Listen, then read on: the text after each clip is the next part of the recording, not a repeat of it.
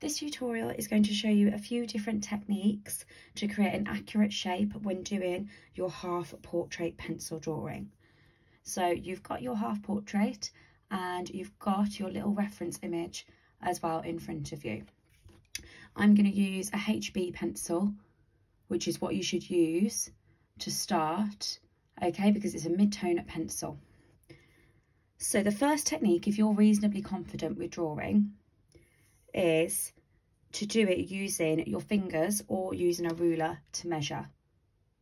So for example, I could use my left hand here and I can just roughly measure from the eye, the corner of the eye, to the middle here. Okay, so I know that I'm using my nails to do that. And then just going over and then I can just make a little dent. Okay, so I know that that's the beginning of the shape of that eye. Okay. The next thing I can do is the eyebrows. So again, going from the edge of the eyebrow into the middle and one over and then I can reasonably guess where the beginning of that brow is and that's just going to really help you to make your drawing symmetrical. I can also measure to the corner of this eye so I'm going to measure for the inner corner because obviously we've got the lashes coming out. So the inner corner where the edge of the white bit is I can measure that all the way to the middle and do the same on this part here. So I know that that's kind of the inner corner of the eye so then I can start to draw the shape round. And I know I've got the lashes coming out there. So you can start to consider how the shape of the face is going to come together and I know I've got the eyebrows sort of coming around here so the edge of my brow sort of that arch part there I'm going to measure to go across here eyebrows really, really frame the face. So sometimes the face doesn't look that accurate until you've got those brows in place. I'm starting to get those features in.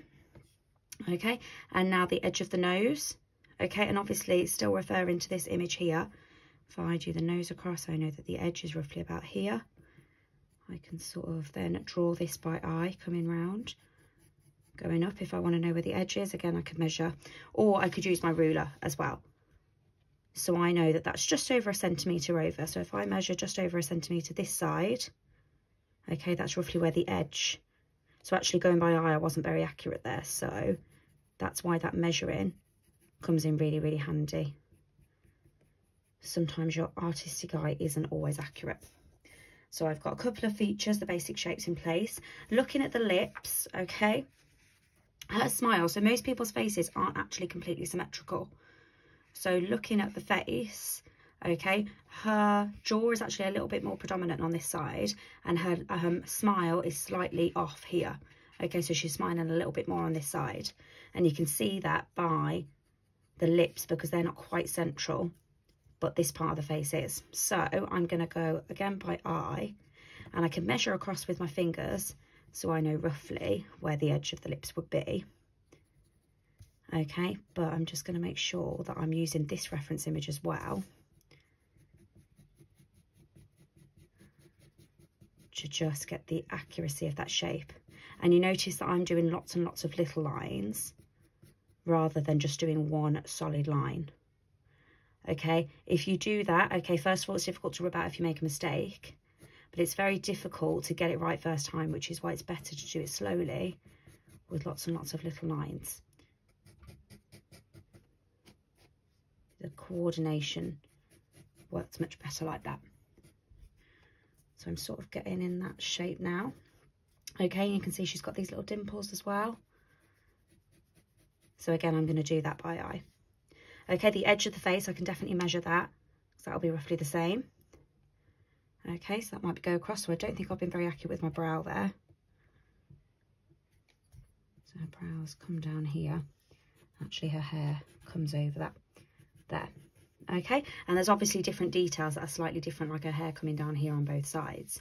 Okay, so that you would, again, have to use your artistic eye a little bit. Okay, but we're starting now to get the shape of the features in place. You can see that she's got a bit of a crease on her eye over the top. So again, that's going to really help with making it look like it's a little bit more in proportion and with her hairline as well. So that's one method that you could do. Another method, okay, for the accuracy of shape is to use a grid. Okay, so I've done two here because I want to show you which one is correct and incorrect. Because when you do the grid, you need to make sure that you do it from the centre outwards. So this one is a problem because I've not done it from the centre outwards. I've done it from the front upwards, which is not correct. So this one is not right. Okay, but this one, you can see I've measured it from here up and then here up. So the squares sit side by side.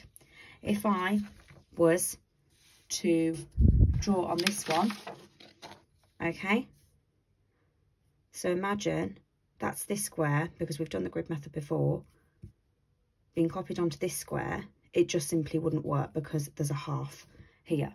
So you just can't copy the squares across. Okay, so this needs to finish on a deadline. And you know how the grid method works. So, for example, if I started um, with the edge of the neck, so if I copied this square here, okay, so that's one, two squares in. So one, two squares in here. Okay, and it's a little bit confusing at first because you're obviously drawing opposite to what you see. But you get used to that as you start to draw. So I can match that up down here and bring that across. Okay, I know I've got a little bit of a dimple coming down there. Actually, that's on the inside.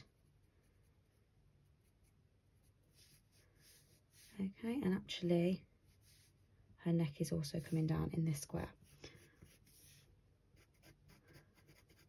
Okay, so you can start to get that detail by, by copying that across. And there'll be a separate video on how exactly to grid that up if you do start to get a little bit confused with how to actually divide that and measure it. So there's a couple of options for you and how you would like to go about measuring for shape and accuracy, which is what I would like you to focus on for this lesson using a HB pencil. So focus on the outlines of your piece. Make sure you don't go too dark, okay, because you can rub things out, especially if you do choose to do the grid method, so you can erase this afterwards.